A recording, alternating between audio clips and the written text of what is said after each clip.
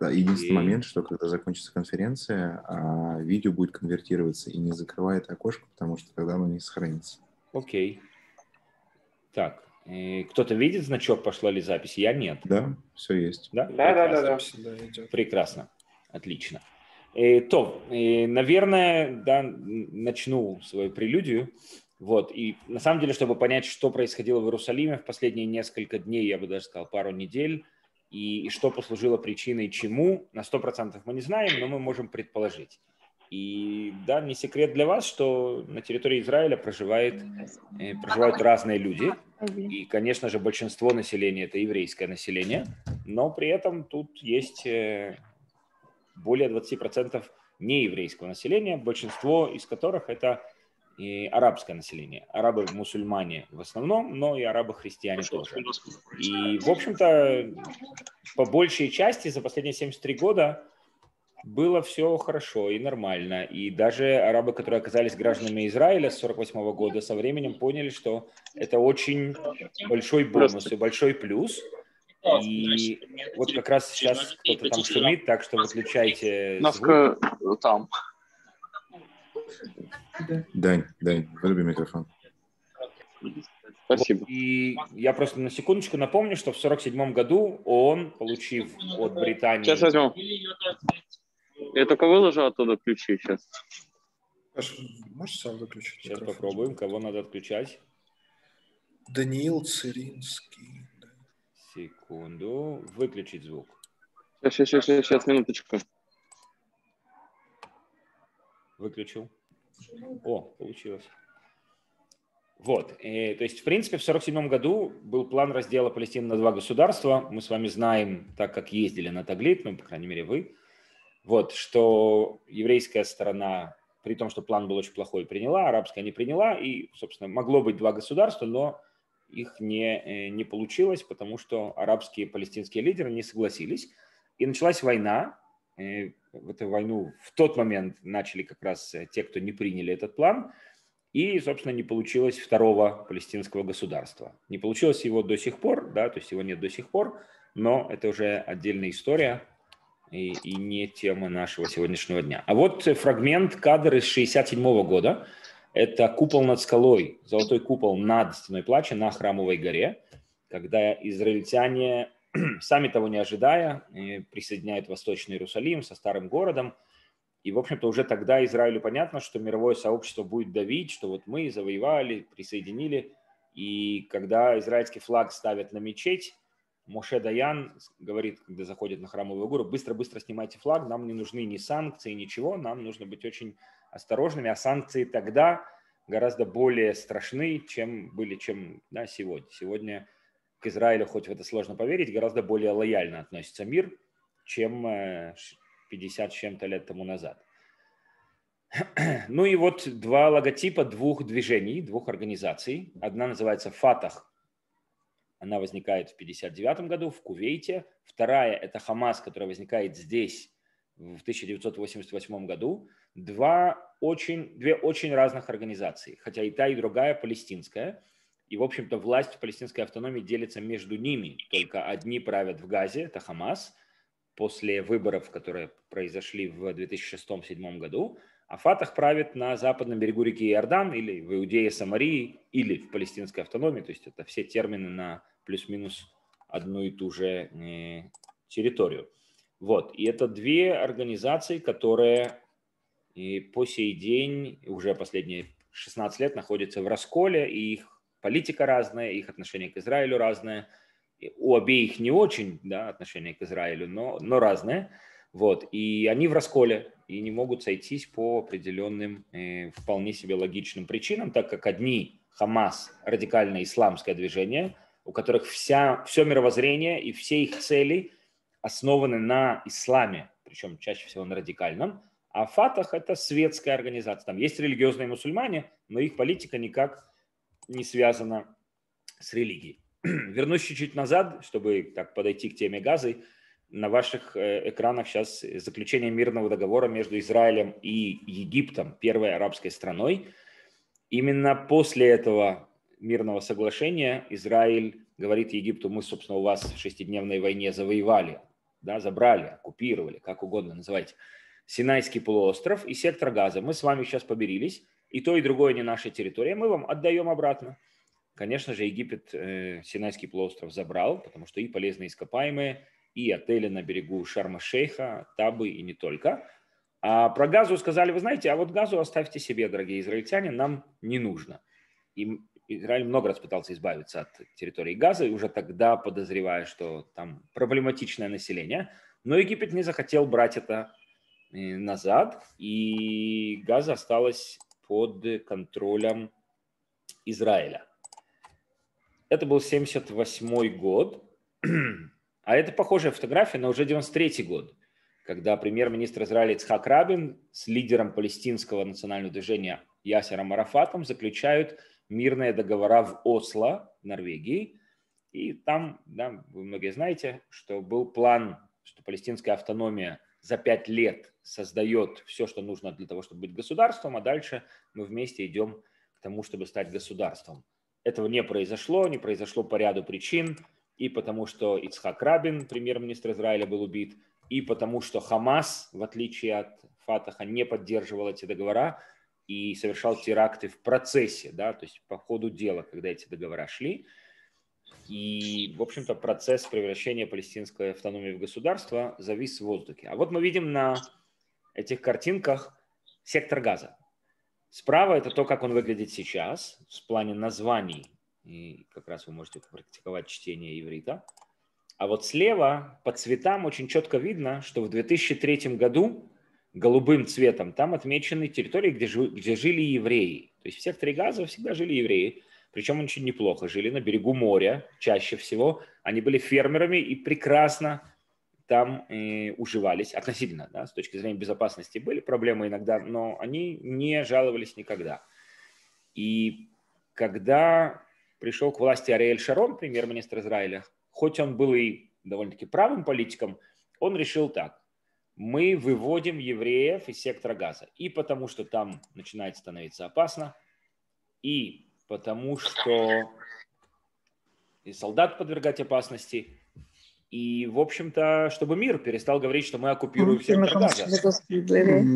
Как только мы уйдем из сектора газа, мир не сможет говорить, что мы его оккупируем, потому что нас там нет. Мы выведем своих, а тех, кто не хочет, выведем насильно. И это то, что происходит – в 2005 году очень болезненная история для еврейского народа, для израильтян.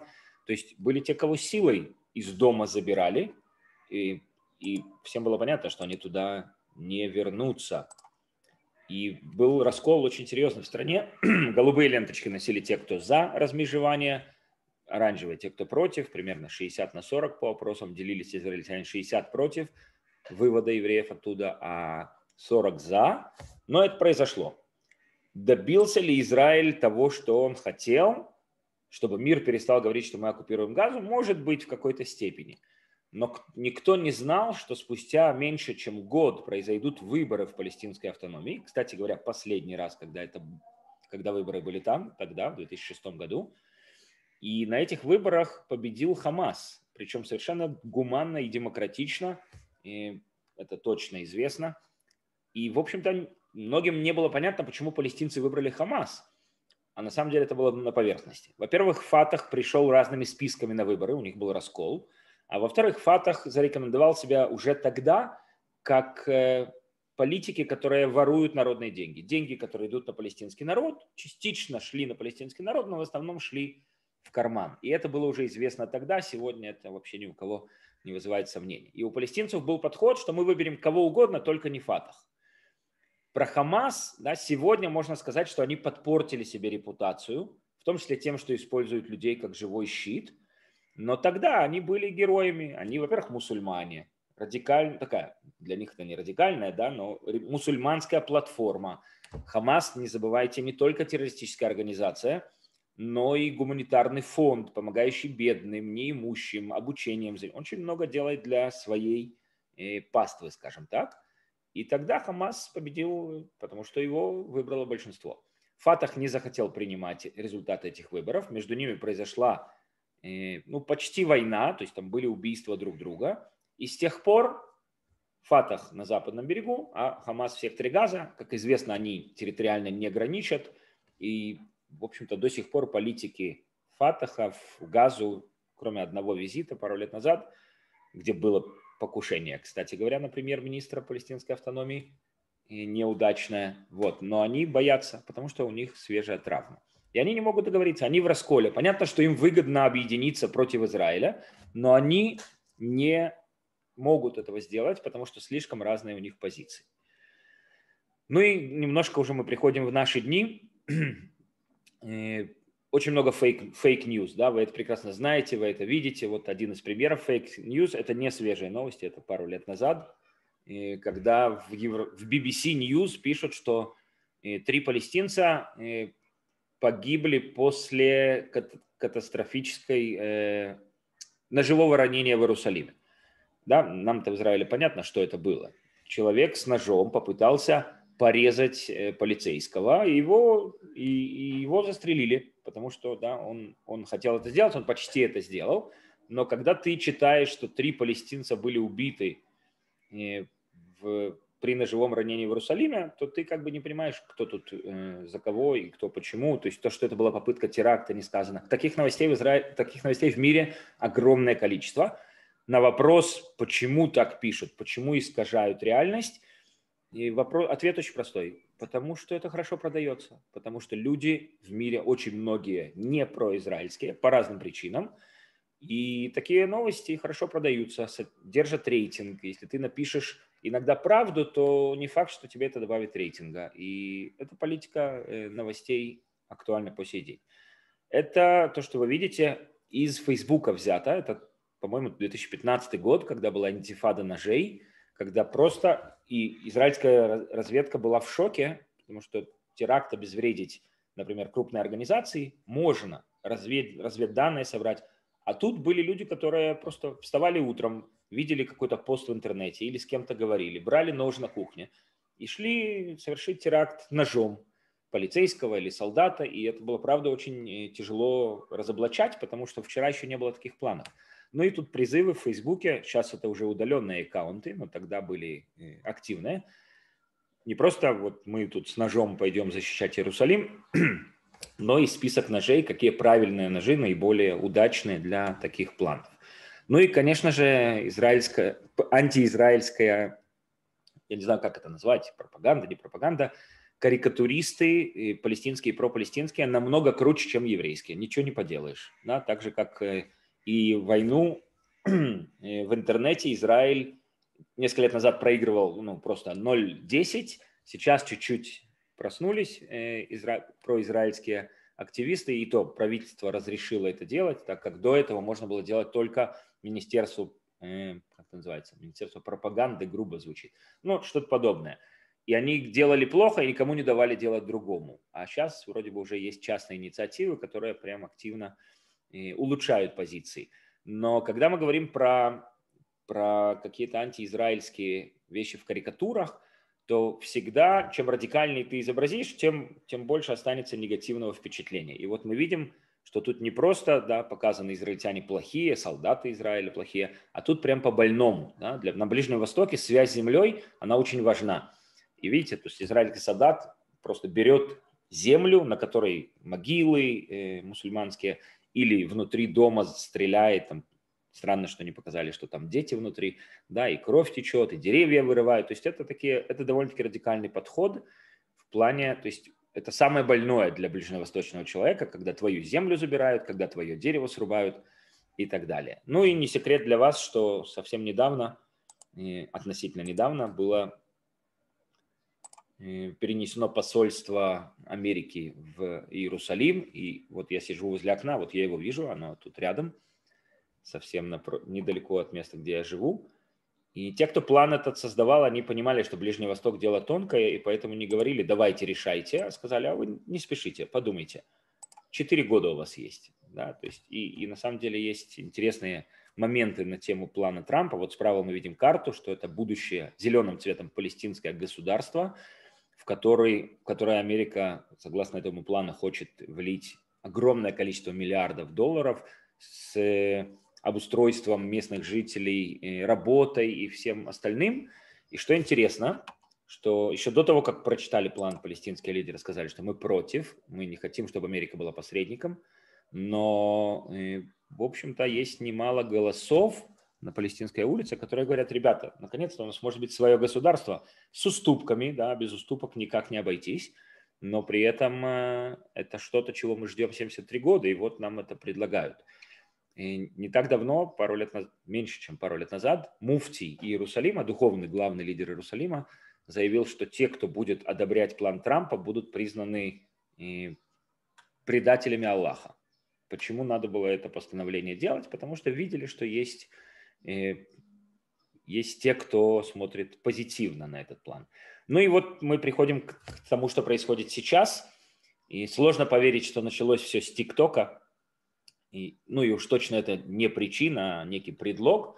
И в арабском молодежном секторе появилась новая фишка. О, Данила, я тоже... Появилась новая фишка э, дать оплюху еврею, заснять это и закинуть в ТикТок. Знаете, ТикТок, да, это такая прикольная платформа, и там прикольные вещи, например, набить морду еврею. Вот, и был один случай, второй, потом 10, потом 100, то есть огромное количество. Теперь еврейские, у, у, в Израиле у евреев есть тоже ультраправые ребята, и которые сказали, мы не хотим это терпеть, и пошли с демонстрациями, и, в общем-то, показали свое недовольство. Полиция там всех разнимала.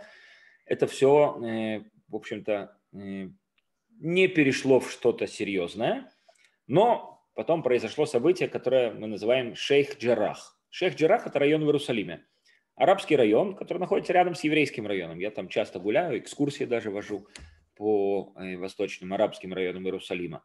И там история в том, что 8 э, палестинских арабских семей, то есть, ну, а, когда я говорю палестинских, это не значит, что они в палестинской автономии живут. Израильские арабы тоже себя называют палестинцами по принадлежности к народу. И 8 семей палестинских арабских, которые поселились в определенных домах, не знали, что эти, эта земля принадлежит евреям. И объявились несколько еврейских семей, которые притащили с собой еврейские довольно-таки радикальные организации. И они сказали, смотрите, вы тут живете на нашей земле. И вот документы. В 19 веке эта земля была приобретена там, нашими родственниками. И, в общем-то, документы правдивые, документы неподдельные. Но на что палестинские семьи, которые, кстати, официально э, в ООН считаются палестинскими беженцами, они сказали, вы знаете, мы вообще арабы, мусульмане уважаем документы. Да? У нас нет проблем, что у вас документы. Но вот только в 1948 году, когда была война, наша земля была в Цфате, и нас оттуда прогнали. Мы сами ушли, я уже точно не помню. И мы, конечно, вам отдадим это, но нам в Цфате государство Израиль должно отдать. А государство Израиль в Цфате никому ничего не отдаст, потому что в начале 50-х годов, после того, как 90% э, арабского населения уходит, кто-то уходит сам, кого-то подвинула война, кто-то поддался на призывы соседних правителей, чтобы не путаться под ногами, а потом вернуться. Но Израиль, который, к удивлению многих арабских стран, победил в войне, принял решение, что мы тем, кто ушел, не даем вернуться. Вы ушли, было ваше решение, вы кого-то там послушали, вы ушли и думали, что вернетесь. А у нас тут мы победили, да, у нас репатрианты массово едут, нам надо как-то страну э, ставить на ноги. И было принято решение, что прецедент, тут как бы страшная штука, прецедентное право. И тем палестинцам, которые оказались в Сирии, в Ливане, там понятно, что вообще не о чем говорить, они там, а мы здесь. А тем палестинцам, которые в Израиле остались и стали гражданами, им тоже не разрешили вернуться в свои, на свою землю, но дали компенсацию денежную. И так решили э, эту ситуацию разрулить. Теперь государство Израиль с 48 года, с 49 года решило, что то, что покинуто палестинцами – да, раз они ушли, мы это как бы с точки зрения безопасности и развития э, государства Израиль не отдаем, максимум даем компенсацию. Поэтому понятное дело, что этим восьми арабским семьям никто в Цфате не отдаст, по крайней мере сейчас. Да. Может быть, когда-то проведут закон или сделают исключение, но это не что-то, что решается вот так вот. Ну и появились, появилось эхо, которое пошло на мир, что тут несправедливость, и что тут вот одни землю забирают, а вторым не возвращают – все это вылилось в, да, вот видите, тут на бочке пороховой написано Шех Джеррах, наверху, кроме мечетей, лицо э, депутата Кнессета Бенгвира, который представляет довольно-таки ради, радикальную, ультраправую, не знаю, как называть, партию, которая, естественно, арабам очень не нравится. Вот. Ну и это переросло в столкновения на улицах. Потом это переросло в столкновениях между полицией. Да, видите, вот это вот из Инстаграма, это по миру гуляет. Спасите шейх Джеррах, то есть от несправедливости. Потом почему-то, я сам не очень понимаю, почему были поставлены заслоны, ну такие, видите, чтобы люди между заслонами выходили. Это же месяц Рамадан у нас идет, он, кстати, сегодня закончился – и чтобы люди не, э, они шли как бы одной колонной и не сидели на ступеньках, не очень понятно зачем, но это вызвало недовольство арабских жителей Иерусалима, которые на этих ступеньках сидели, как просто вечерами развлекались. И, видимо, полиция посчитала, что это небезопасно, не знаю. Вот. И потом э, начали закидывать на храмовой горе полицейских камнями. Полицейские, естественно, стали отвечать, разгонять демонстрации. А дальше это все, вот так это выглядело, а дальше все э, приняло необычный э, ход. Хамас, который сидит в Газе, решил э, показать, что палестинцы все одинаковые, что все с единой идеей. Хотя понятно, что израильские арабы вообще не там. Израильским арабам хорошо в Израиле, им нравится гражданство Израиля, им нравится равноправие, даже если оно, как они говорят, где-то не до конца, но оно почти до конца, как минимум. Вот. И Хамас сказал, мы защитим мечеть Алякса, и мы да, вот будем стрелять ракетами, пока не прекратятся беспорядки на Храмовой горе. Теперь эти, эти беспорядки начинала не израильская полиция, понятно, вот. Но вот этот лозунг «спасти мечеть Лякса от иудизации», от слова «иудей», это лозунг, который проник в головы молодежи, часто не очень образованной молодежи, потому что среди кидающих камни есть и 13-летние, и 15-летние и так далее. Вот. И вот мы видим фотографию, сделанную внутри мечети Элякса, то есть запас камешков. Это пару дней назад буквально сфотографировано. То есть после молитвы сразу ты берешь камень и вперед. Ну и когда мы говорим о Хамасе, несмотря на то, что такое понятие, как блокада сектора газа, которое в мире трактуется совершенно не так, как оно на самом деле, блокада – это то, что Израиль контролирует, что туда входит, чтобы это не использовалось потом против Израиля в качестве оружия и так далее – но, видимо, не до конца хорошо контролирует, потому что сегодня и последние три дня мы видим, что у Хамаса есть ракеты, которые долетают почти до Хайфы, то есть это 140-150 километров. То есть в прошлые витки э, эскалации с Хамасом, ну, по-моему, не было таких ракет. Да, были на 10 километров, на 20, на 50, на 70, не более того. То есть до Тель-Авива, да, дальше нет. Сегодня каким-то образом они там есть, непонятно, как они туда попадают, если море контролирует Израиль. Э, Египет, единственная граница с Египтом не контролируется Израилем, но, в общем, нам казалось, что оттуда уже все тоннели засыпаны самими египтянами, которым невыгодна эта контрабанда. Ну и вот мы видим разные ракеты, хоть и на иврите надписи, но мы видим, что практически весь Израиль покрывается, кроме Эйлатов, которые вчера обещали в 6 вечера докинуть, но, видимо, либо, э, либо все-таки не могут, потому что далеко, либо ракеты заканчиваются, потому что мы видим уже сегодня ночью и утром, что количество ракет, запускаемых сюда, меньше. Есть мнение в армии обороны Израиля, что 80% ракетного арсенала Хамас использовал уже за эти два с половиной дня, и, в общем-то, именно поэтому он уже всячески транслирует, что мы готовы на перемирие. Да? Другой вопрос, что Израиль который, если бы сразу пошел на перемирие с Хамасом, как только Хамас попросил, ни, ничего не добились бы. Да? То есть через 3-4 года было бы то же самое. Поэтому Израиль решил, что мы не будем прекращать, когда Хамас этого вдруг попросил, а мы достигнем каких-нибудь военных целей. Например, и уничтожим инфраструктуру Хамаса, места, где делаются ракеты, места, откуда запускаются, запускаются ракеты. Раз уж такой предлог пошел, они сами начали стрелять, то есть Одно дело самим начать, это некрасиво, мир опять нас осудит. А тут они начали, поэтому мы уже да, постараемся максимально нанести им урон. И потому что для нас это безопасно, и для того, чтобы Хамас в следующий раз 300 раз задумался, а стоит ли вообще что-то начинать, если да, нас потом сравняют с землей и так далее и тому подобное. Ну и возвращаясь к теме fake news, да, которые сейчас вовсю идут по всему миру, это, правда, не из этого конфликта пару лет назад.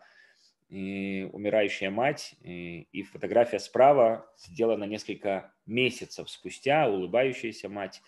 И вот. И на Храмовой горе пару лет назад во время молитвы товарищ э, вслух массам говорил, «О Аллах, уничтожь правителей нечестивых мусульманских мини-государств». И все кричали «Аминь». То есть в центре Иерусалима, в старом городе. И «О Аллах, уничтожь всех евреев». Все кричали «Аминь». «Дай нам возможность убить их». «Аминь». То есть, да, и, и эти люди не были арестованы, потому что у нас свобода слова, наверное, не знаю почему. То есть э, такое вот происходит периодически. Ну и вот карикатурам, видите, Израиль представлен как э, смерть, и там в Газе стрельба. Конечно же, в коронавирусе виноваты евреи, кто, кто другой. Да, и мы видим, как Израиль забрасывает за разделительный забор и коронавирус, и сам от него, конечно же, не страдает. Палестинцы, да. Или коронавирус в форме звезды Давида, Э, да, хладнокровные убийцы детей в секторе Газа, так представляют израильтян карикатуристы многие, не обязательно палестинские, да, могут быть и пропалестинские, или то, что мы роем тоннель под храмовой горой, чтобы мечеть Алякса упала, и на этом месте построить третий храм, таких заявлений тоже достаточно, ну и вот всякое такое, да, еврей моется в полной ванне воды, а у палестинцев нету воды, или газа на краю пропасти – кстати, вот, а вот эти карикатуры гораздо более редкие. Да? То, что террорист э, в палестинской автономии, который совершает теракт, получает э, деньги. То есть его, он идет в тюрьму, а его семья получает пожизненную пенсию за него. Кто получает больше всего? То есть есть разные суммы. Есть целая таблица. Больше всего получает израильский араб, потому что как бы он гражданин Израиля, он больше всего рискует, и, и ему есть что терять, израильское гражданство – палестинской автономии человек получает меньше. И сколько раз не требовало мировое сообщество у Махмуда Аббаса, лидера э, организации Фатах, движения Фатах, прекратить выплаты террорист, терр, семьям террористов, он все время говорил, нет, это, это наш нарратив, мы так вот делаем, и мы считаем, что это правильно.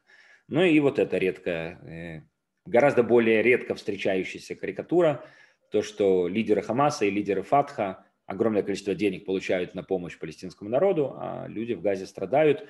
Я думаю, что всем очевидно, что большинство людей в Газе – мирные жители, которые оказались в западне. Да, они не могут никуда уехать, потому что у них нет иностранного гражданства. Египетская граница для них чаще всего закрыта, израильская, естественно, закрыта. И когда я раньше задавал вопрос, а почему они не восстанут против Хамаса, ответ очень простой. Это, кстати, из общения с моими арабскими знакомыми. Хамас говорит, хотите против нас восстание? Пожалуйста, мы с ваших домов запустим ракеты, как обычно, на Израиль. Израиль ответит, в ваши дома. Пожалуйста, если хотите, мы можем такое провернуть. Люди боятся. В Газе на улице расстреливают людей. Вчера была перестрелка в Газе. Был в одном из телеграм-канале видос, что там кто-то с кем ну, Хамас с кем-то перестреливался, то есть с арабами, понятно. Но, ну и не говоря уже о публичных казнях на центральных площадях тех арабов в Газе, которых заподозрили в сотрудничестве с Израилем. Ну и да, вот еще одна редкая карикатура, что Хамас прячется за детьми, ну имеется в виду за, живым, э, за живыми людьми и с их домов запускает ракеты. И главный офис Хамаса, кстати, находится под больницей в Газе, именно поэтому э, Хамас точно знает, что Израиль в их э, офис стрелять не будет.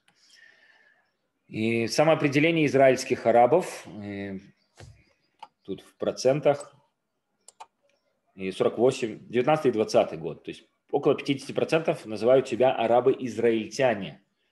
Гораздо меньше процент называет себя палестинцев, гораздо увеличился процент тех, кто называет себя просто израильтянами, и где-то, видите, 15% в 2020 году называют себя просто арабы – но знаете, что то, что происходит с Газой, то, что оттуда летят хамасовские ракеты, как бы странно это ни звучало, это не так страшно. Потому что, во-первых, это уже было.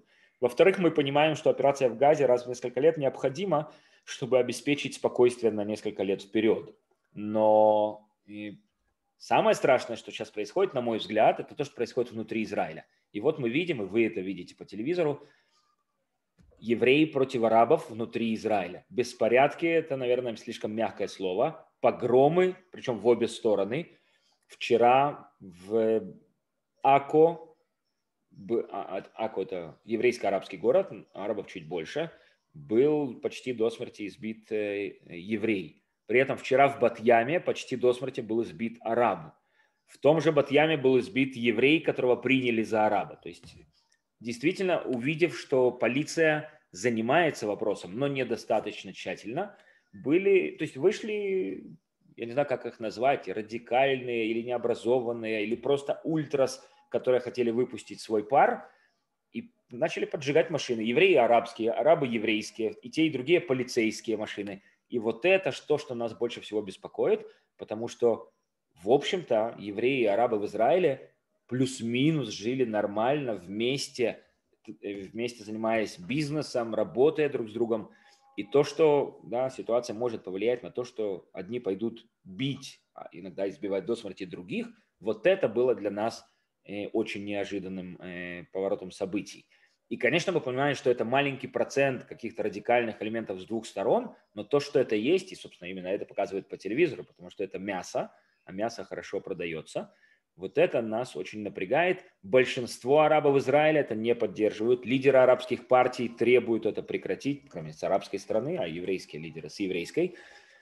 Местные арабы понимают, что это для них очень плохо. Это да, усиление недоверия к арабским жителям. Это э, проецирование какой-то ненависти к одним, да, и переносимое, переносимое все это на других. Но эти радикальные элементы, они вышли на улицы и вот решили так себя вести. Вот как раз фото избиения, это, по-моему, это Батьям, да, это избиение араба евреями.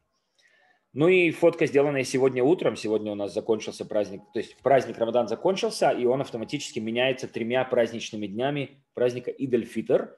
И вот на Храмовой горе в Иерусалиме над стеной плача сегодня, э, ну ладно уж люди с палестинскими флагами, это с кем не бывает, но на транспарантах лидеры Хамаса – да, то есть э, они показывают э, эти транспаранты, то, что они гордятся тем, что Хамас сделал, то, что Хамас вступился за Иерусалим, хотя особого отношения к нему не имеет и находится далеко.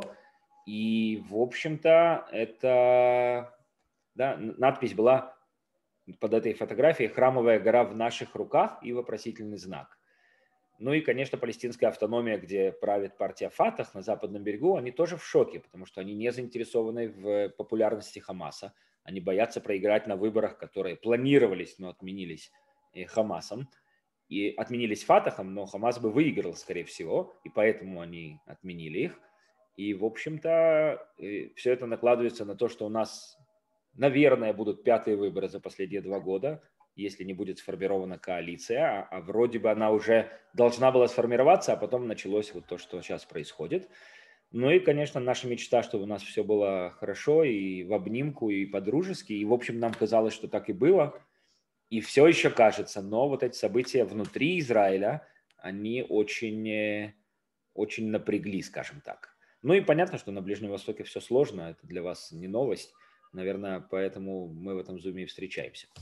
Вот, это такой вот э, момент, который, наверное, предшествует вашим вопросам, поэтому если есть вопросы, то я, я тут.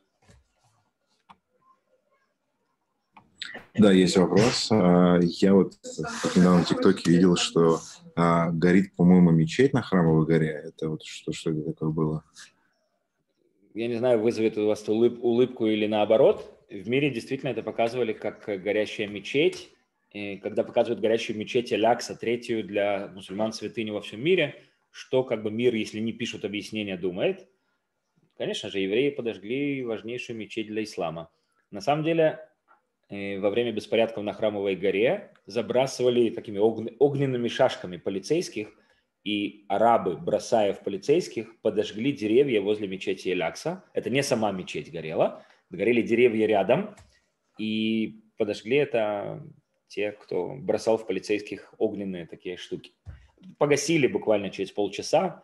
Да, среди тех, кто был у стены плача, это видел, конечно же, были те, кто махали израильскими флагами. Да. Мы тут ни при чем, вы сами подожгли это. Но, но это было вот так.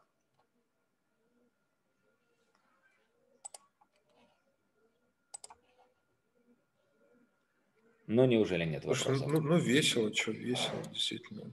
Жизнь кипит, Прям это... Да, я, может быть, подведу, ну, не потому что я прощаюсь, а подведу итог тому, что я говорил до.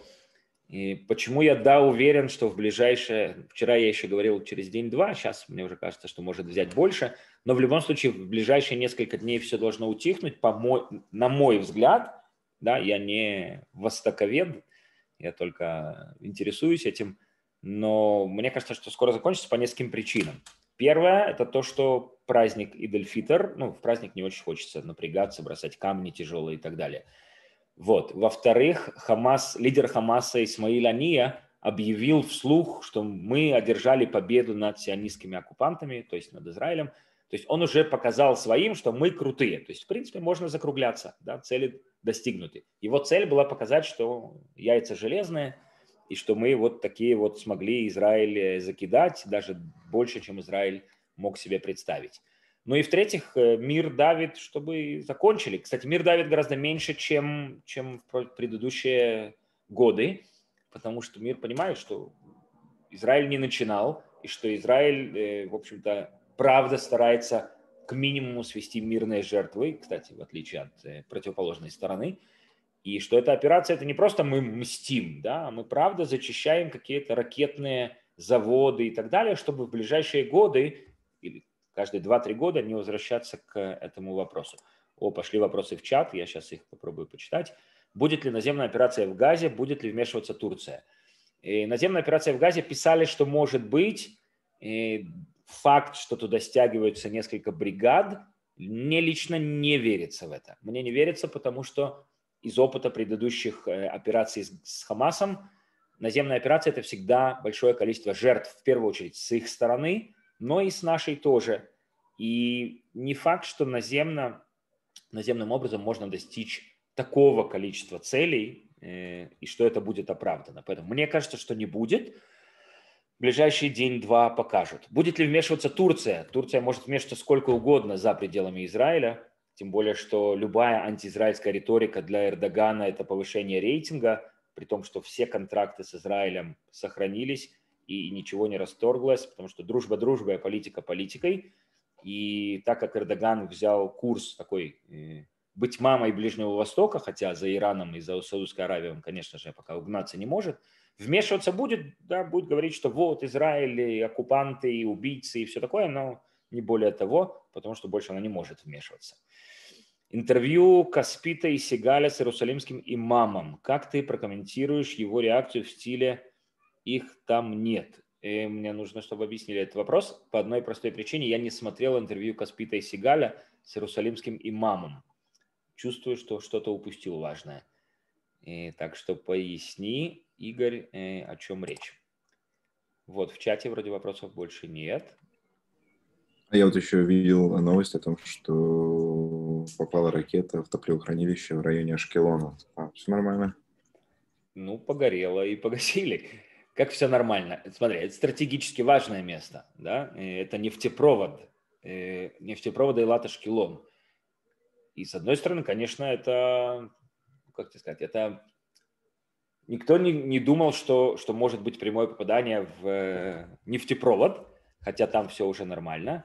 Пикантная история связана с тем, что Хамас получает э, электричество и топливо из Израиля по очень низким ценам. То есть, по сути, они как бы себе в ногу выстрелили.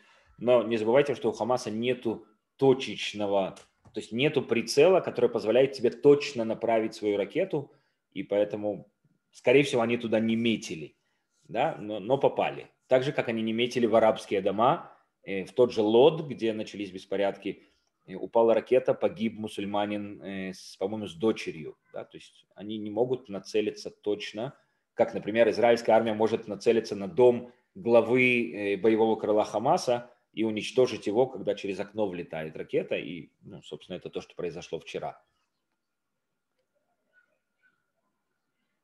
Слушай, у меня Слушай, два... Паша... Ладно, давай. Аркадий, давай. Окей. У меня два блока вопросов. Смотри, первый про Израиль, второй про Палестину. Смотри, про Израиль. Вот можешь э, примерно оценить, сколько в беспорядках уличных, да, вот сейчас уч- ну, участвовало людей?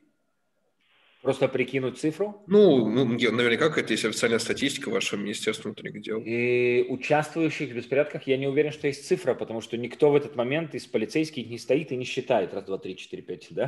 Можно прикинуть, да, что речь идет про сотни людей. Сотни, если взять все сотни. вместе, да? Сотни. Сотни. Ну, может быть, Ага. пару тысяч, если взять вот три дня назад начать считать, и по сей день, и снова же, что мы называем беспорядками? Когда у тебя Ну, выходит арабский митинг с транспарантами «Прекратите насилие в Газе», это не беспорядки. Это Понятно, нет, ну, законная уличные акции, давай назовем, выражение. давай уличные акции, назовем их так. Неважно, там это бьют или с транспарантами, люди выходят на улицы, да? То есть уличные А, акции. тогда, это- если мы берем тех, кто с транспарантами и стоит и говорит прекратить насилие в Газе, прекратить там раке... ну, э, операцию в Газе, то тогда может быть и тысячи, потому что в Мгм. Израиле могут евреи выходить и говорить прекратить насилие в Газе и прекратить Мгм. вот весь этот беспредел. Но если мы говорим про тех, кто идет и избивает людей, или бросает камни Мгм. в машины, или ну, пытается как бы навредить, там, не знаю, убить, не дай бог, то я, судя по там, новостям, которых мы смотрим, ну, ну, может, пару тысяч за все три дня во всех местах. То есть Мгм. это, Нужно еще, это в Паша, нужно основном еще не города... забывать про... Не забывай про ребят, которые э, на похоронах творили какую-то дичь вообще невообразимо. Ну, слушай, я, ну, мы же не можем тех, кто что-то говорит, причислять к, прибавлять к тем, кто бросает камень в упор в лобовое стекло машины. Это разные истории. Говорить это одно. Вот, и, то есть, мы говорим пока про такие беспорядки, которые, которыми надо заниматься полиции, они этим уже занимаются. В первую очередь это Лод возле Тель-Авива, возле аэропорта, это Ако, и это Батьям, это немного, уже совсем чуть-чуть Иерусалим, в Иерусалиме плюс-минус уже нормально. И вот, и это в основном, это все города со смешанным населением, где живут и евреи, и арабы. Как, Паша, я тебе говорю про ребят, которые на похоронах от линчевателя какого-то, они хоронили, шли по улицам, и параллельно они еще закидывали дома, где израильский флаг видели, А, это и другая кидали история. вот это. Это Вот, я про история. них говорю, да. Ну, в общем, окей, пускай там это тысяча, да, там, или там две тысячи, или три тысячи. У меня такой вопрос. Вот смотри, вот в целом в Израиле, вот то, что называется внут- внутренние войска, какие-то там Министерство внутренних дел, это республиканская структура или это административного округа? Есть мне просто почему, почему мне это странно? Потому что у нас там выходит типа тысяч десять только в Москве, всех отпинали, пошли домой. То есть никаких, во- вообще никаких проблем нету. Просто вс- все, там, вс- всем дали по роже, все пошли домой.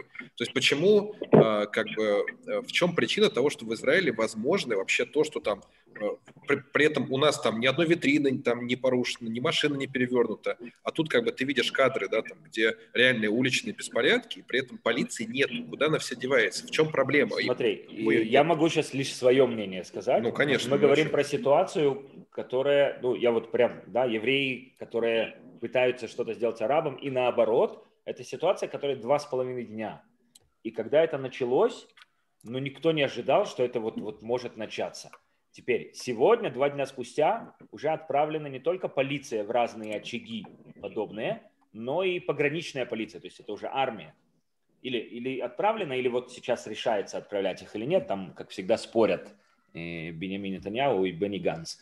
То есть сейчас уже поняли, что это необходимо. Первые сутки полиция занималась какими-то другими вещами в разных городах Израиля. То есть первый день ты действительно смотрел на это и не понимал, где полиция. Сегодня, после того, как в Лоде сожгли две синагоги, после того, как того чуть не убили, а этого, да, ну и так далее, э, мы уже меньше видим, где полиция, потому что сейчас уже чувствуется полиция, она как бы отреагировала, получила приказы и так далее. Но первые там несколько часов или первые 24 часа, во-первых, когда приказ идет, это не всегда через час он исполняется. Вчера в Лоде в 8 часов вечера был введен комендантский час. Зачем? Чтобы те, кого поймают после 8, попали не только под статью там, хулиганства или избиения, а нарушение закона. То есть это так же, как в локдаун, в корону, если тебя э, поймают, то есть это нарушение как бы государственного...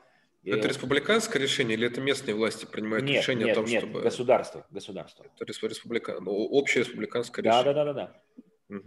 А, ну, то есть, я так понимаю, смотри, то есть просто по устройству. В России, да, там есть так называемая Росгвардия, да, и условно это просто это, это какое-то количество там народу, который вот что-нибудь сразу приезжают, там пазики, вазики, куча, короче, народу. Просто в Израиле такого нету. Есть, есть вооруженные силы Израиля, да, которые там с танками, с автоматами, со всем на свете. И есть полиция, которая, ну, условно, там, чтобы тебя ночью не ограбили. Да, И есть еще подразделения полиции, э, ну, типа такие серьезные, командос, которые на мотоциклах ездят, но их явно недостаточно, чтобы послать их в разные города. То есть решение, кого послать, тоже должно приниматься в соответствии с, э, с какими-то И, ну, я не знаю, то есть взвесить, э, понять, кого куда, и, да, и не все везде могут справиться, вплоть до того, что иногда думают, в какой город послать еврейских полицейских, а в какой город арабских полицейских, чтобы как-то это лучше сработало. А, а насчет Решение в Тель-Авиве, да, принимается? То есть это... Нет, в Тель-Авиве у нас, ты имеешь в виду, а кто? У нас в Тель-Авиве некому решать. В Иерусалиме принимается решение. Все в Иерусалиме принимается. В Иерусалиме, Вся, все, все в Иерусалиме как бы сидят люди, думают, вот сколько нам послать там в, в Цфат, сколько нам послать туда, да? сколько нам послать да? сюда. Да. Окей, это, это про Израиль. У меня второй вопрос по поводу Палестины. Смотри, я для себя не очень понимаю, вот это же какой-то кусок территории, на котором живет какое-то количество людей. Там же должно быть что-то типа там здравоохранение, образование, да. правоохранение, продовольствие, Конечно. электроэнергия, водоснабжение. То есть да. вот а, а, вот как эта территория, она вообще существует, то есть вот э, за счет, я, ну ты сказал даже, что они покупают там в, кто они, да, кто платит, вот как бы кто платит Израилю там за, за электроэнергию, вот кто этот человек, который там приходит? Я, я тебя объясню. Смотри, вот. это упирается в договора в Осло, подписанные в 93 году. Согласно этим договорам, Израиль как бы несет ответственность за палестинскую автономию, пока она не станет государством. Как известно, она пока не стала государством. Соответственно, электроэнергию туда дает, продает Израиль, газ, э, воду, да, все водные ресурсы, они контролируются Израилем. И они, Израиль это дает туда, потому что Израилю напрямую выгодно, чтобы там люди не умирали от голода и не были на грани там, вымирания. Даже если мы с властями палестинской автономии никак в определенные периоды, и то же самое с газой, да, в сектор газа поступает. Я про, я про газ именно говорю, а, я говорю именно про газ. То есть я про газ, вот, вот конкретно про газ. Не про Палестину, Палестина понятно, там как бы там Окей. более-менее. Вот, Смотри, вот газ. Вот. Израиль туда это поставляет, потому что понимает, что там большинство людей, мирные жители, которые выживают, и им это тяжело сделать. Другой вопрос, что Хамас, как правящая партия пропускает все через свои руки, и ничего с этим не поделаешь. Да, Израиль за это берет деньги, минимальные. А у кого он берет деньги? Кто этот человек или там организация? Потому платит? что Газа, хоть там Хамас и правит, она получает зарплаты от Рамаллы, от палестинской автономии, от Фатаха. Ага, а Фатаху деньги дает Израиль. Что за деньги? По согласно договорам в Осло, с определенных территорий, где живут палестинцы, но там военный контроль Израиля, безопасность контролирует Израиль, Израиль собирает эти налоги с местного палестинского населения и передает их палестинской автономии. Mm-hmm. Из этих, речь про большие деньги, кстати говоря. Okay. И эти, из этих же денег платятся зарплаты в газу иногда. Mm-hmm. То есть какие-то ну, вещи, которые приобретаются для газа, оплачиваются. То есть копилка одна, казна – это Рамалла как бы столица палестинской автономии. Ну, очень мутно, конечно, потому что они же разделены территориально, то есть как-то надо туда попасть с этим Правильно. мешком. Там, Израиль знаю, разрешает туда иногда попасть, так же, как когда Катар привозил в чемоданах наличные, потому что это было в чемоданах наличными, Израиль давал разрешение заехать катарскому шейху в Газу, передать Хамасу миллионы э, долларов – и потом на почте в период коронавируса, стоя, стоя в очередях, семьи получали по 100 долларов э, раз в три месяца. Вот. Ну, а вот э, а чем там вообще, вот, вот, вот, вот сколько там в Газе живет? Несколько там, десятков, наверное, тысяч человек, да? Там, Ты удивишься. Там живет. Миллион восемьсот тысяч. Почти 2 миллиона, да. Почти 2 миллиона. 2, то есть 2, 2 миллиона человек, это, ну, как бы в, в Казани что-то что типа миллион с чем-то, да? А, и что они там все делают? Вот, я не, вот, вот, как там, вот, вот как там жизнь, типа, если там полная изоляция там экономическая, да, ты там э, непонятно как получаешь там налоговые вот эти вот все, не знаю, там отчисления, ну, жизнь какая-то, и что они там делают все? 2 Смотри, человек. если одним словом отвечать, как у них там дела, то это жопа. А если чуть поподробнее, то ну, они правда заложники обстоятельств. Они ну, не могут уехать, они полностью зависят от Хамаса. Если они, хотят, если они не поддерживают Хамас, об этом говорить вслух они не ну, могут, понятно, потому что да. это плохо заканчивается. Перспективы, я, мне кажется, ты намекаешь на перспективы. Сейчас, как там плюс-минус понятно, да, 64% безработица на данный момент.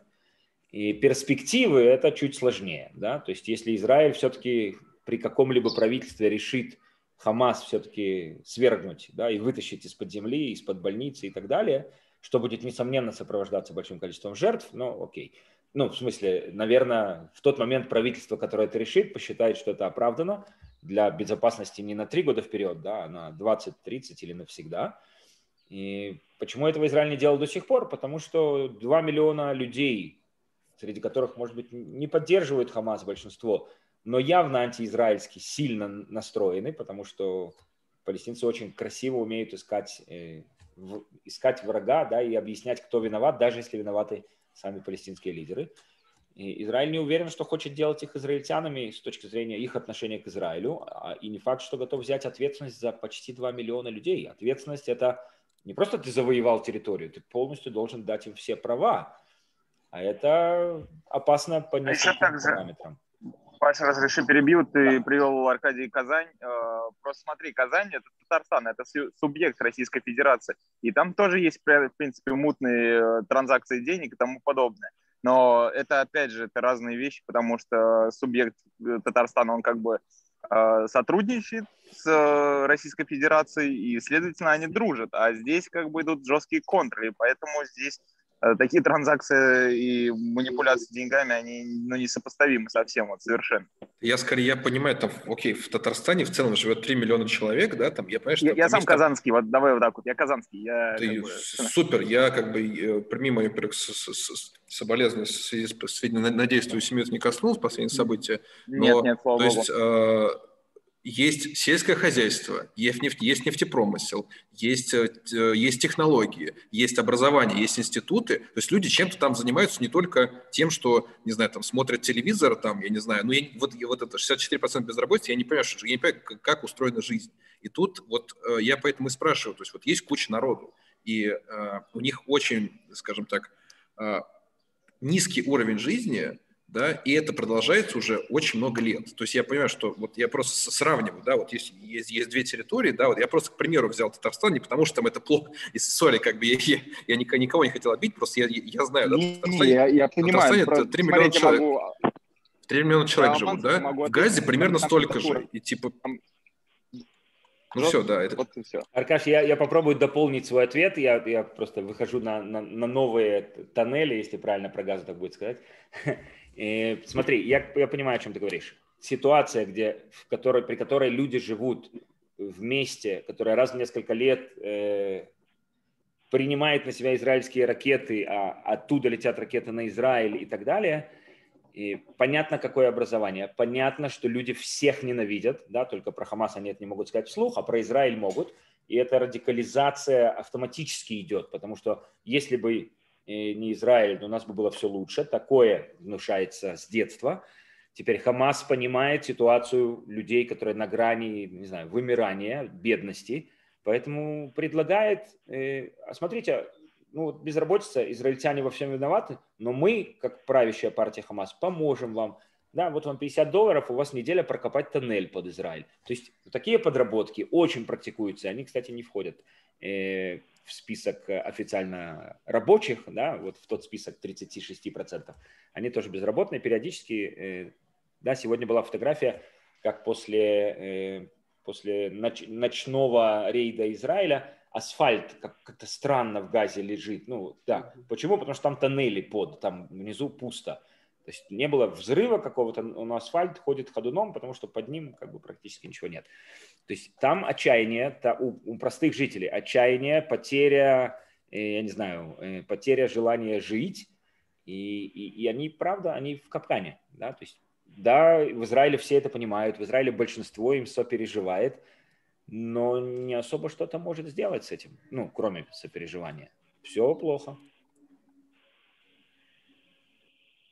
Слушай, Паша, вот у меня вопрос. Почему именно сейчас, э, сейчас решили выселить э, семьи с э, территории?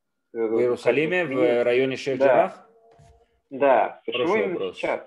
Смотри, вопрос, смотря кого спросить. Да, если мы спросим того же самого имама, я сейчас вот прочитал дополнение в чате, который утверждает, что что вообще арабы не участвовали ни в каких избиениях, демонстрациях, и это все начал Израиль и полиция, которая грубо обращалась с молящимися, то этот же имам скажет э, следующую вещь.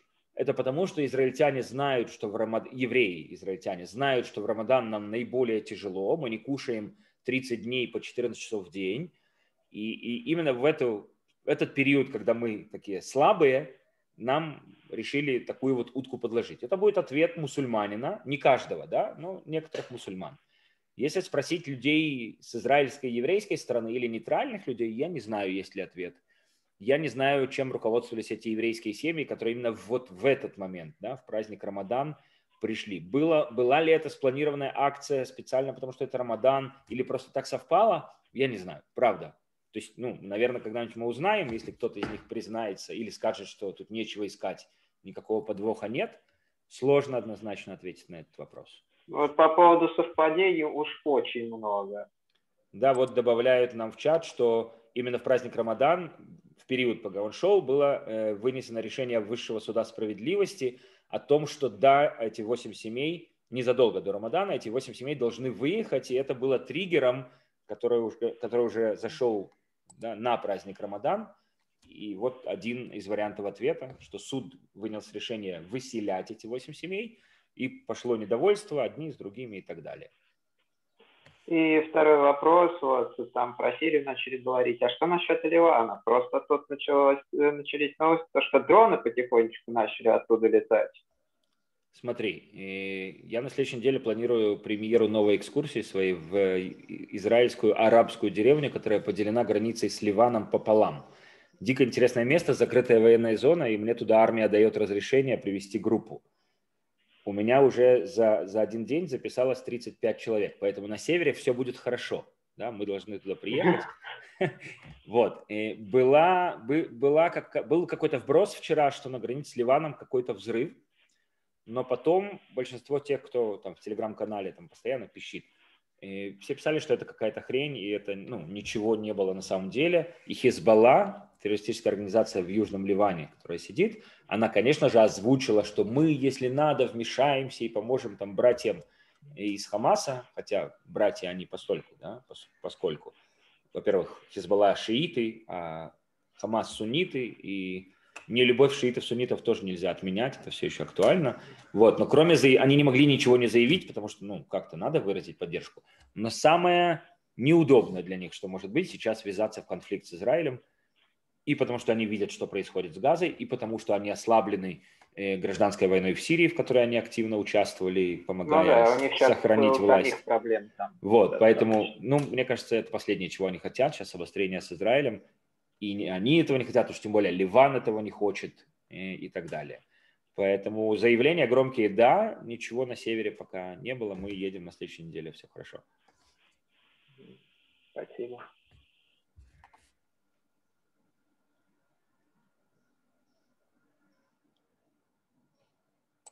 Так, вопросы пошли письменные. Что говорит Биби? Слышала, что в этот раз железный купол пропустил больше ракет это из-за количества выпущенных ракет или, соответственно, увеличивает цифру или в процентах работу купола. И я думаю, что это из-за количества выпущенных ракет, потому что за три, за два с половиной дня выпущено более полутора тысяч ракет. Они специально выпускают это залпами, понимая, что железный купол, с ним, эффективность железного купола не 100%, а 90 с чем-то. И их расчет, что запустив 50 ракет одновременно, две могут действительно не, не, не взорвать ракеты железного купола. И что говорит Биби? Биби решителен как никогда, в том числе потому, что это сильно поднимает его рейтинг, то есть он не смог собрать коалицию, и у него забрали эту возможность, потому что он не собрал, а те, кто э, по другую сторону политической жизни, они вроде бы смогут да, объедини, объединить необъединяемое, да, включая еврейские левые, еврейские правые и арабские партии, объединиться в коалицию. Это очень сложно представить, но к этому идет.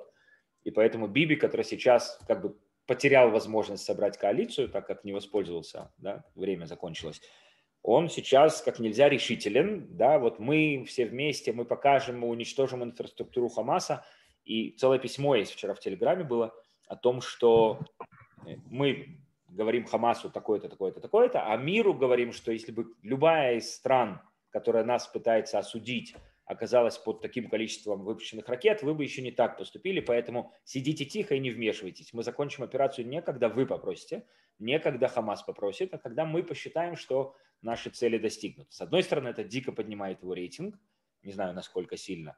С другой стороны, правда, хотелось бы показать Хамасу, что мы сами, правда, решим, когда закончить, если уже они начали, чтобы в следующий раз они понимали, что мы можем воспользоваться этой э, атакой э, со стороны Хамаса, чтобы обеспечить себя безопасностью на много лет вперед.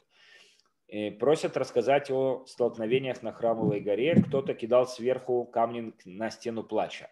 Был один такой случай, когда бросили пару камней, по-моему, позавчера, и людей эвакуировали от стены плача. Полчаса, час после этого уже люди вернулись.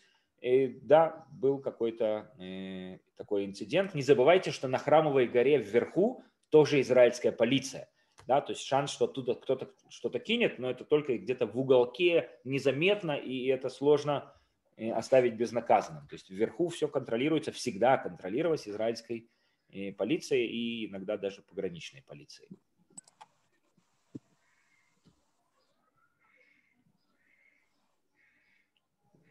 Ну что, ваши вопросы иссякли? Моя ставка, что, ну, возьмем вот самый-самый дальний дедлайн, и моя ставка, что 5 дней, это самый максимум, все будет уже тихо и хорошо, и будем решать, э, как дальше жить вместе в Израиле. Почему тогда зачистки мечети сделали? И вопрос, что такое зачистка?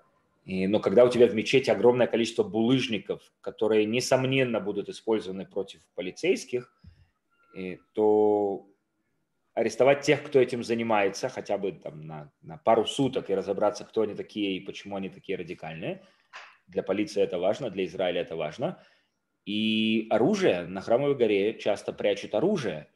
И был случай два или три года назад, когда этим оружием были убиты два полицейских. Кстати, не еврейских полицейских. Друза, арабоязычных друза. Но это не важно, да, они такие же полицейские, как все остальные.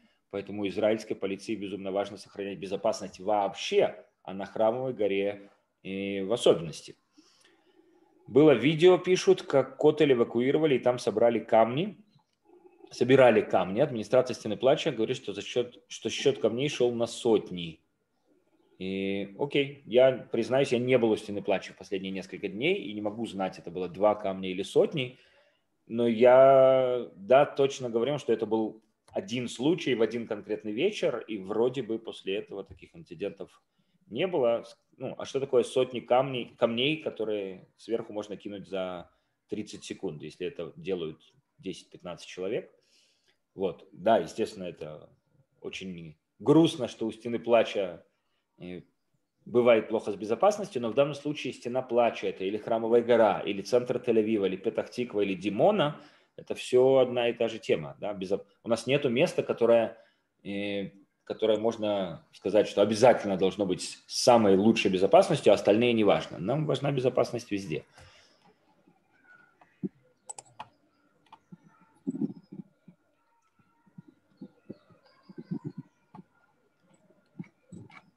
Ну что, закругляем Zoom? Э, смотри, Паша, у меня еще такой, как бы, такой как вопрос высказывания, просто хочу для себя разделить. Я для себя понимаю, что условно есть внутренние там беспорядки, проблемы, это одно дело, да, там камни в, в храме, на, на, это, на стене, неважно, это как бы это внутреннее дело, с ним должна разбираться полиция. А есть кейс, когда э, в одно государство летят, летят ракеты со стороны другого государства. Не и, государство. Ну, ну, ну, она же является, ну, как бы Газа является, так, так или иначе, исходя из того, что ты сказал, частью, так или иначе, Палестины, да, ну, вот что-то типа мутная Если бы вода, это было государством, любой наш ответ был бы легитимен, и в мире бы никто ничего не говорил. Но пока это не государство, и они как бы частично на нашем попечительстве, это проблема, что мы отвечаем. А, то есть все как бы, это типа как ваша территория, а вы не можете, то есть это, это тоже как, типа, как, как внутреннее. Просто вот, ну да, это просто типа, ну, мне кажется, с, с другой территории летят ракеты, ты говоришь, ребят, антитеррористическая операция, вперед, зачищаем, как бы, да, теряем народ, а, но, но мы восстанавливаем какую-то просто защиту, мы защищаем свои границы. То есть мы говорим, ребят, вот нас на нас летят ракеты с другой территории. Все, спецназ, танки, значит, э, авиация, артиллерия, вперед. Как бы, ну, вот не, не хватает ресурсов, или это не хватает ресурсов, Нет. или это а, как бы, ну, такое, что ли, или другая какая-то причина. Другая Ты... причина. И ты сейчас говоришь как человек, который живет в России. Я прав? Ну, я живу в России, да, в Москве. Я знаю. Подход такой. Есть проблема, решаем ее любой ценой. Ну, или почти любой ценой. Да, потому что это наша безопасность. В Израиле история, ну, это тоже верно, но тут есть немножко другая проблема. И я сейчас не только про коалицию, оппозицию, да, которой здесь много, про правых и про левых. В Израиле всегда стараются соблюдать баланс. Есть правые, есть левые, есть религиозные и нерелигиозные, есть мнения такие и другие.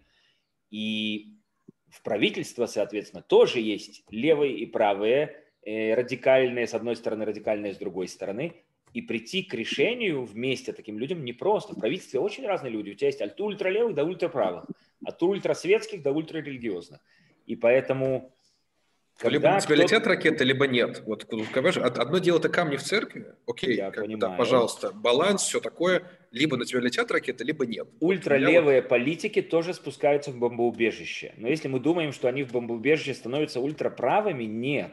Они говорят, что эту ситуацию мы, к примеру, да, сейчас, мы их вынудили, то есть они, конечно, ну, конечно, грустно, что ну, тебе кидают ракету, да, но надо искать свою вину в этом. Это не только они виноваты. Ну, грубо говоря, вот так. Теперь, почему с точки зрения средств уничтожить такое понятие, как Хамас, конечно, скорее всего, с мирными э, гражданскими жертвами каким-то количеством, можно за, ну, я бы сказал, учитывая все тоннели под землей, ну, неделя.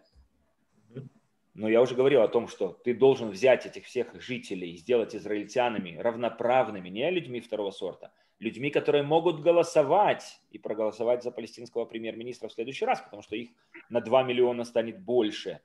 Э, плюс Израиль не уверен, что такое ответственность. То есть завоевать газу можно вот так. Вопрос, что делать потом. Во-первых, мировое сообщество скажет, вы опять оккупанты, вы оккупировали газу. Во-вторых, заниматься еще двумя миллионами людей, которые, может быть, очень не любят Израиль, сделать их полноправными израильтянами. Это все факторы, о которых ты должен думать.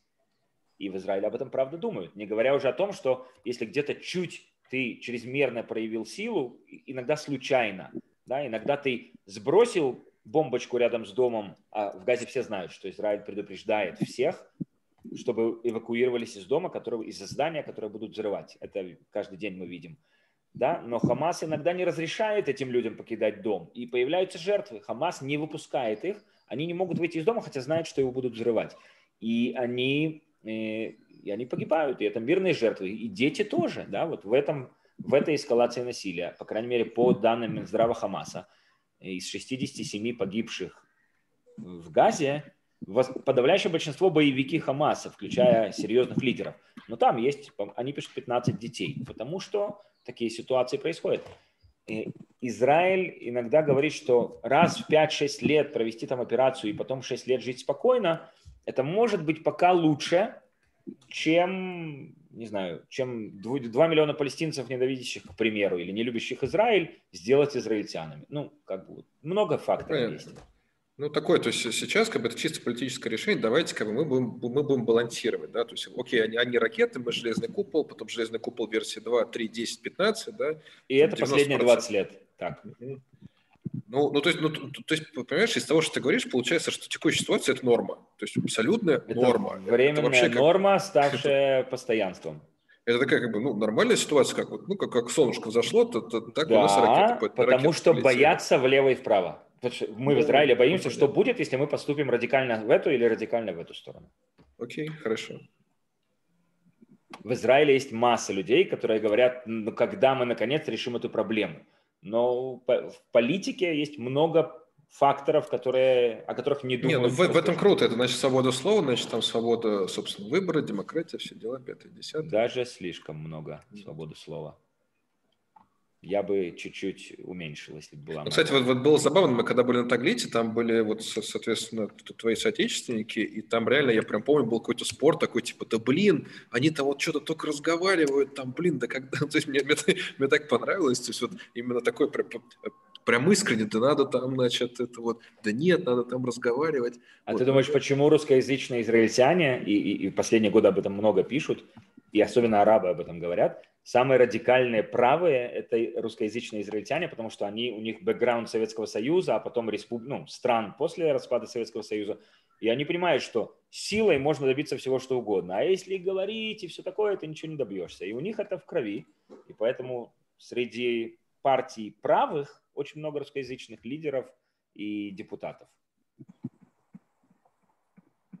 Окей. Okay. Паш, получается, что сейчас э, ну, все обострилось. А, ты говоришь, вот там пять дней максимум. Все, сейчас пока праздники, там они немножко, у них ракеты заканчиваются, да. Э, Кушать начнут целый день. Да, да, да, все утихнет, они, может, подобреют после еды чуть. И что потом? Придет кот Леопольд, скажет, давайте жить дружно, все утихнет, или как все это будет? И Подожди, потом до подожди, следующего раза меня через опять, Звук опять. почему-то ушел, секунду. Наушники можно надеть. Я включил, он должен быть. А, все, я понял. Секунду, секунду. Вот сейчас у меня появился звук снова. Я, Нармин, можешь повторить Меня вопрос? слышишь? Вот теперь слышу. Конечно. Смотри, ой, покажи нам хоть Иерусалим. Какая прелесть. Смотри, значит, я говорю, то, что сейчас все обострилось. А, У меня просто как раз родственники живут в Ако, в том городе, где арабы, евреи вместе, они всегда вроде как дружат, все нормально. Сейчас, естественно, там стычки на улице, горят рестораны и прочее, прочее. А, Пять дней пройдет, ракеты перестанут, дай с Божьей помощью, перестанут лететь, а, стычки прекратятся, и что будет? Все опять значит, все, все забудут и будут жить дружно или как? Нет, вот это самая большая проблема. Почему я сказал, что это наиболее болезненно то, что происходит внутри? Потому что с ракетами, ну, как бы мы знакомы и знаем, почему это, и знаем, что это ненадолго. Вот. А вот с э, арабами, которые бьют морду до смерти евреям, и наоборот, это новое явление. То есть вот этого мы не ожидали. Мы понимаем, что это радикальные какие-то молодежные группировки или одиночки, но вот этого, это застало нас врасплох. И вот это вот потерянное доверие, вот это вот возьмет время восстановить. И понятно, что это меньшинство, а большинство арабское в этом не виновато, как и еврейское. Но вот это серьезный раскол, который меня лично печалит намного больше, чем летящие ракеты. И это возьмет время восстановить, ну, прийти к доверию, которое было неделю назад, возможно, еще 10 лет придется. Ну да, я тоже так подумала, потому что не может быть, что люди резко проснутся и станут опять дружить. То есть какое-то время должно уйти, а это реально Не, они будут большая проблема. общаться, потому что все понимают, что большинство нормальное. Но элемент недоверия у тебя в голове к тому, что это нормальный Мгм. араб или нормальный еврей, который завтра, если что не так, пойдет и тебя палкой стукнет по голове, вот эта вот мысль не пройдет сразу. Мгм. Да, страшно, конечно. Спасибо тебе большое за презентацию, тоже спасибо. Ни за что. Паш, все-таки у меня просьба в презентации, ну, ты, ты вставляй ссылки-то, а то у тебя что-то это там. Мне, мне кажется, Я ее что... что сделал на скорую руку. на скорую руку, ну окей, ладно. Ну, типа, мне кажется, что вот важно, знаешь, когда, ну, понятно, что когда покажешь, показываешь карикатуры, они такие как бы эмоционально окрашенные всегда, и это все-таки, ну, не знаю, вот, вот лично Смотри, я... теоретически я мог бы вставлять ссылки, но многие, многие сайты, откуда я это брал, они на арабском и на иврите. Тебе не факт, чтобы это помогло. Не, ну, Google переводчик, ну, все, переваривает. Но Я, я- Ну, я имею в виду, ну, понятно. Просто, типа, если говоришь, что вот в ТикТоке есть видео, да, там круто, когда ты прям, типа, ссылочку. В ТикТоке уже это не найти. Уже ТикТок вчера написал, что он убрал все эти видео. Окей. Да, Паш, спасибо тебе за, за подготовку. Я надеюсь, ты тоже хорошо с нами провел время, как мы с тобой. Ну, видишь, сижу на балкончике, кайфую. Ну, хорошо. Да. Ладно, Да, Паш, я, я, спасибо я большое. офаюсь. Да, все, всем спасибо. Спасибо, Ой, всего тебе на здоровья, мира. Будем надеяться. Давай. Мне, чтобы оставить запись, сейчас не закрывать ничего? Миш. Миша ушел уже.